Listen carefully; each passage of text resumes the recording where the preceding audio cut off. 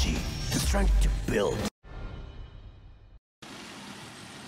တရုတ်ဆောင်ချစ်သူဝင်နဲ့သူ့ရဲ့အဖေဖြစ်တဲ့ဦးစောဝင်းတို့အပေါ်ပါနာညှိုးနှဲစေမှုဥပဒေပုံမှန်295နဲ့တရားစွဲဆိုဖို့ရှောက်ထားတာနဲ့ပတ်သက်ပြီးရန်ကုန်အရှေ့ပိုင်းခရိုင်တရားရုံးကဩဂတ်လ14ရက်နေ့မှာပယ်ချလိုက်ပါတယ်။ဒီကိစ္စကိုအရင်ကသင်္ကန်းညွန့်မြို့နယ်တရားရုံးမှာရှောက်ထားခဲ့တာဖြစ်ပေမဲ့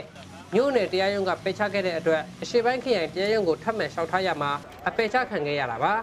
။သင်္ကန်းမြို့နယ်တရားရုံးမှာ အဲသွားပြီးဥဒက်လျှောက်ပါတယ်ဥဒက်လျှောက်ဆိုတာကျွန်တော်သဘောနဲ့မဟုတ်ပါဘူးအဲမြန်မာနိုင်ငံဥဆိုင်ရာဒါနဒုက္ခိတကွန်ရဲ့ကဲစီဝေးဆုံးမဲ့ချက်သွားဆွဲတာပါအဲ့မျိုးနယ်ရုံးကပတ်လိုက်တဲ့ခါကျတော့ဒီခရိုင်ရုံးကိုတက်ပါတယ်ဒါရရရာဇဝပြည်စီမှုမှာ287ပြည်အောင်တောင်းတယ်လက်ခံလိုက်တယ်လက်ခံပြီးတော့နိုင်ငံတော်ဘက်နဲ့ကျွန်တော်ဒီလျှောက်ထားသူကျွန်တော်နဲ့ပေါ့ပြီးခဲ့တဲ့ရုံးချိန်မှာကြားနာပြီးဒီနေ့အမိတ်ချတာကတော့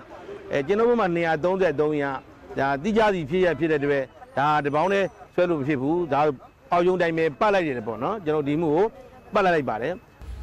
ဒီကိစ္စနဲ့ပတ်သက်ပြီးမြို့နယ်တရားရုံးကိုရှောက်လဲချက်တင်တဲ့အချိန်ကစပြီးခရိုင်တရားရုံးရောက်တဲ့အချိန်ထိရုံးချင်းတွေတိုင်းကိုအမျိုးသားရေးလှုပ်ရှားသူတွေလာရောက်ပြီးစောင့်ကြည့်နေတာကိုလည်းတွေ့မြင်ရပါတယ်။ဒီနေ့ရုံးချင်းကိုတော့တန်ဃာတော်အချို့ပါဝင်မြန်မာနိုင်ငံလုံးဆိုင်ရာတာသနာယကိတအဖွဲ့တစ်စိတ်ကိုရေဘက်မှာထိုးထားတဲ့အမျိုးသားရေးလှုပ်ရှားသူတွေ20ကျော်ခန့်လာရောက်ခဲ့ကြပါတယ်။ခရိုင်တရားရုံးကပါလက်လိုက်တာနဲ့ပတ်သက်ပြီးရှေ့ဆက်လှုပ်ဆောင်မယ့်ကိစ္စတွေကိုမြန်မာနိုင်ငံလုံးဆိုင်ရာတာသနာယကိတအဖွဲ့နဲ့တိုင်ပင်ကဆက်လက်လှုပ်ဆောင်သွားမယ်လို့ဦးအေးပိုင်ကဆိုပါတယ်။ ဒီရောက်အောင်ရုံဒီခရိုင်ရုံးရဲ့အမိတ်ကိုလည်းပဲကျွန်တော်တို့က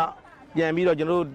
အဲမြန်မာနိုင်ငံဆိုင်ရာဒါနဒုက္ခိတကိုရဲနဲ့အမျိုးသားရေးအင်အားစုတွေစုပေါင်းအစည်းအဝေးတစ်ခုကျင်းပပြီးတော့မှဗဆက်လုပ်ကြမလဲဆိုတာကိုကျွန်တော်ညှိနှိုင်းဆုံးဖြတ်မှာဖြစ်ပါတယ်ဆုံးဖြတ်ပြီးအစည်းအဝေးကဆုံးဖြတ်ပြီးတာနဲ့ဥပဒေကြောင်းဆက်လုပ်မယ်ဆိုရင်တော့ကျွန်တော်တို့ကအဲဒီခရိုင်ရုံးအမိတ်ကိုတိုင်းလူတော်တက်တာပဲဖြစ်ဖြစ်ဒါမှမဟုတ်လည်းပဲဒီတရားရုံးညွှန်ကြားချက်အတိုင်းပဲ